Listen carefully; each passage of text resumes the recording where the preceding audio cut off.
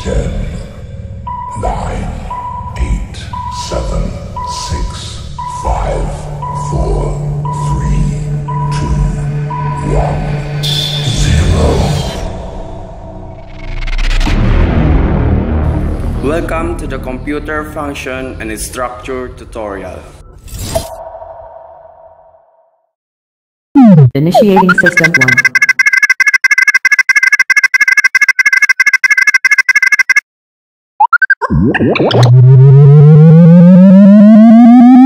System 1 loaded.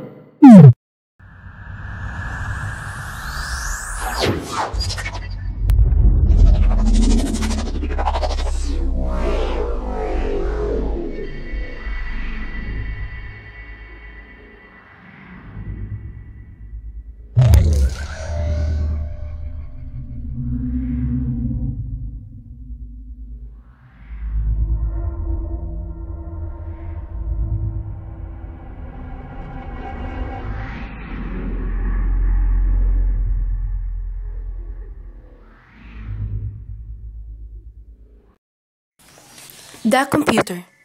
As you can see in the illustration, inside the circle is the computer and it can store and process data by means of peripheral devices.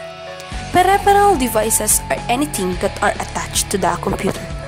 Example of these are mouse, keyboard, printer, scanner, and many more. Computer also have communication lines. These lines makes the user communicate to anyone. Example of these are the computer modem, router, or anything that gives us signals to communicate.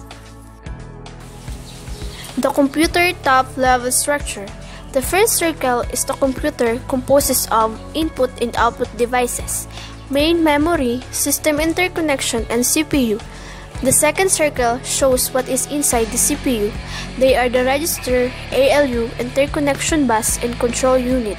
And the third circle composes the function of control unit like sequencing logic, control unit, register, decoders, and control memory. So now, what is structure? Structure is the way in which the components are interrelated. It means to say that these serve as a method or pathway that make the component connected to each other. There are four main structural components of computer.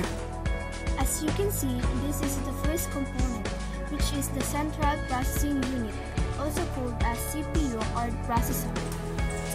It controls the operation of the computer and perform its data processing functions, simply referred to as processor.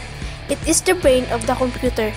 It accepts input, processing data, and provides output. It is not only an important element, but a crucial one. Without it, the system would not be able to function at all. This is the second component, the main memory. It is the computer's work area. It stores a program while the program is running, as well as the data that the program is working with. The third component, the input and output devices. It moves data between the computer and its external environment. For example, when you input a data through the use of keyboard, it will output in the monitor and if you also want to print that through the use of printer, that was the external environment. This is the fourth component, system interconnection. It is the mechanism that provides for communication among CPU, main memory, and input and output. A common example of system interconnection is by means of a system bus consisting of a number of conducting wires to which all the other components attach. Major structural components of CPU. Control unit controls the operation of the CPU and hence the computer. Arithmetic and logic unit, also known as ALU, performs the computer's data processing function. Register provides internal storage to the CPU. It serves as the temporary memory location. CPU interconnection. Some mechanism that provides for communication among the control unit, ALU, and the register. So now, we will define function. It is the operation of each individual component as a part of the structure. It means to say that the component has its own role as part of a whole.